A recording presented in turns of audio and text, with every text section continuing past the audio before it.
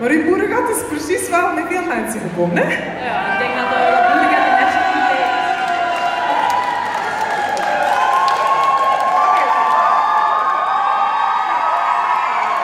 Oké, mooi. Ehm Emily, misschien even meer ingaan op de kalverhouderij. Proces voor kalfsvlees. Kan je daar een beetje meer op ingaan? Ja, de kalverhouderij is een beetje een onbekende en onbeminde sector.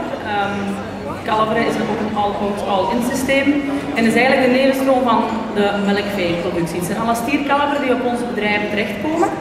En de kunst aan het kalverhouden is dat je een uh, zo wit mogelijke vleeskleur produceert, maar wel binnen de minimum-ijzerwaarde van het kalf. Ja, oké, daar heb ik al zelf veel aan geleerd. Uh, dat is voor mij al uh, een meerwaarde. Uh, we hebben ons laten vertellen dat bij de Laremans van druk werken iets leuks wordt gemaakt, dat er altijd een feest is. Ja, dat klopt. Um, natuurlijk is het niet altijd een feest, maar als bij ons een nuchtere kalver binnenkomen, dan is het in de oude een beetje de place to be. En um, heb ik heel veel vrienden en familie die mij dan vergezellen in de stallen en de intensieve druk die dagen verlichten. Maar ik denk dat er veel landbouwers jaloers van zijn. Leuk, leuk. Um, duurzaamheid is ook een beetje een modewoord, of toch een uh, woord dat heel vaak gebruikt wordt in onze middens. Hoe kan jij dat in jouw sector eigenlijk aantonen dat jullie duurzaam te werk gaan?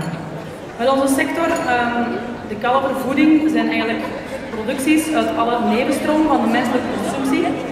Dus de nevenstromen worden dan verwerkt, wij voeren ze terug. En eveneens zijn alle producten, alle eindproducten of restproducten terug hergebruikt.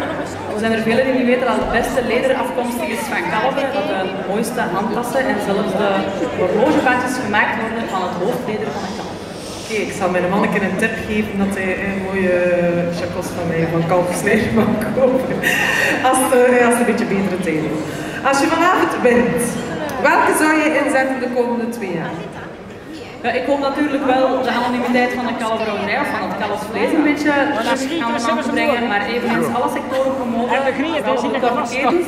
En wat mij wel enorm heeft de laatste dagen, dat is de zorgsector die toch wel weinig aandacht kent. En een enorme noodzaak ja, we zijn klaar, maar niet de mens laten goede of positieve dingen kan bieden in de sociale sector. Maar kijk, dus deelname